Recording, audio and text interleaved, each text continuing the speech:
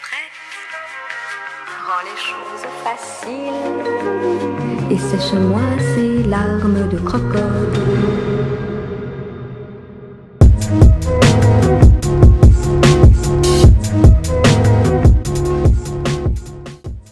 What's going on, everyone? It is Sunday in Buenos Aires.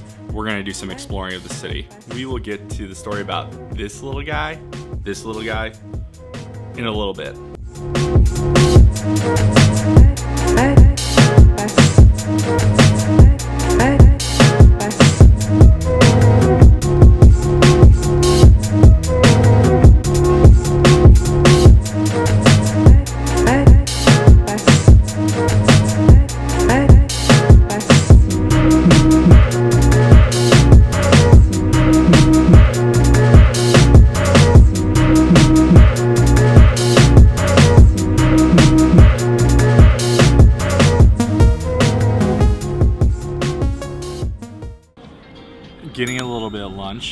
Eating alone is getting a little bit old on this trip, so hopefully tomorrow I'm gonna schedule something where I can go eat with a lot of other people that are visiting Buenos Aires and that'll be a little bit better to have a little bit more conversation as I don't think I've spoken English other than to you guys in two days. And I'm not saying you shouldn't travel by yourself, you really should. There's a lot of good things you learn about yourself when you are alone and you get to think. And it doesn't hurt that Argentina is a beautiful country. Check out this boat. I'm heading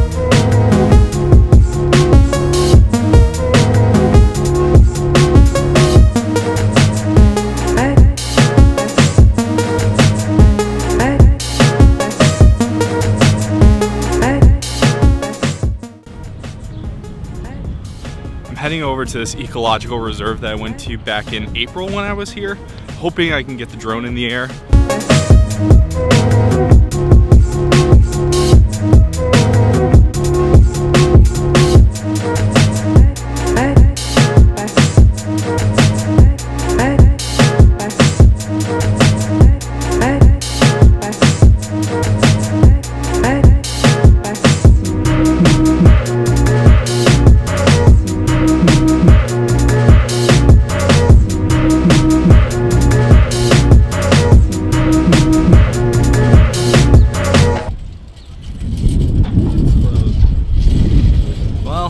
We're not doing that today. Okay, so apparently there's a government election going on today. That's why that ecological reserve is closed. Still gonna fly somewhere though.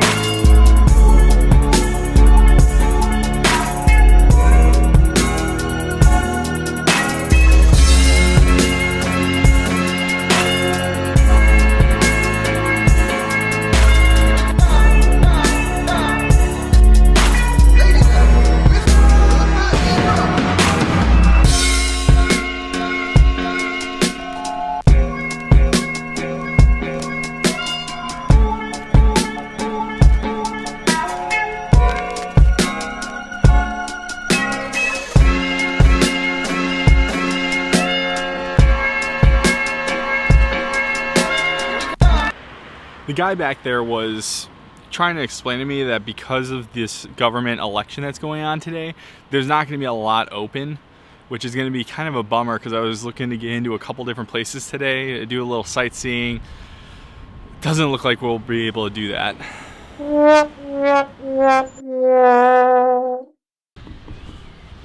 Election day seems to be a big deal. The, the whole country seems to be kind of shut down. There's not as many people out and about.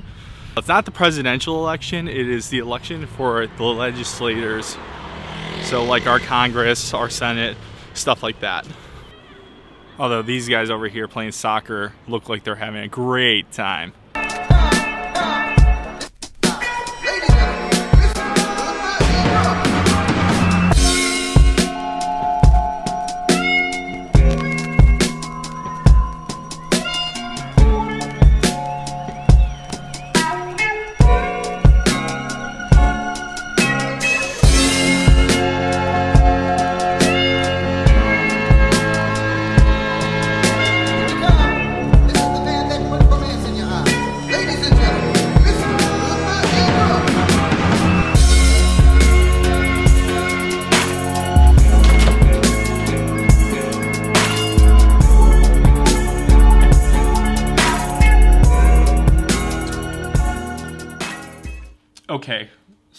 Story time. So yesterday I was up on the roof uh, at the pool flying my smaller drone, this little guy who I call Rocket. Um, a little bit different than my bigger drone, who is referred to as Daedalus.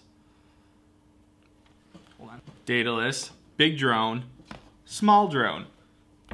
Two different ways they communicate between the controller and the drone itself and flying along, just getting some awesome clips. And all of a sudden, on the controller, starts beeping.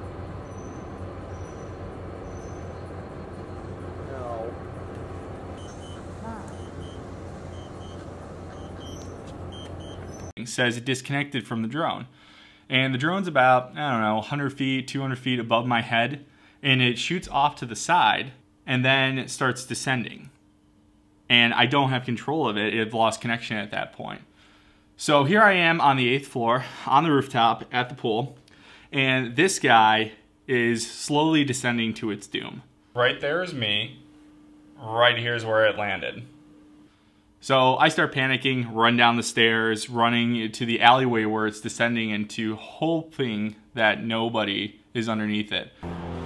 So I ran down to find it hovering right here in this spot and all it's doing is sitting in the alleyway, hovering, and still recording. So here's some of the footage from this little guy's uh, descent to doom.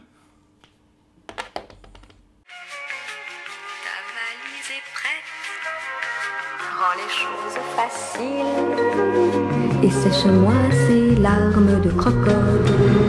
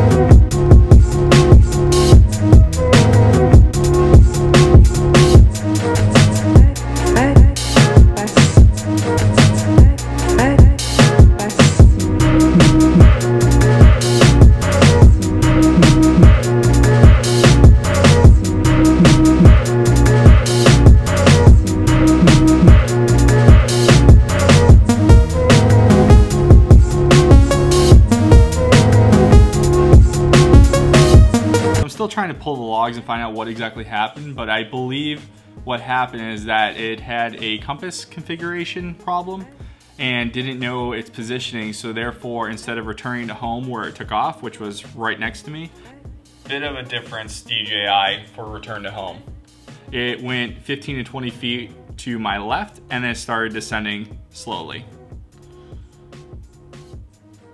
And then past that, I don't know what happened quite yet. Um, seems that there was some interference that interfered between the controller, controller, and the drone itself.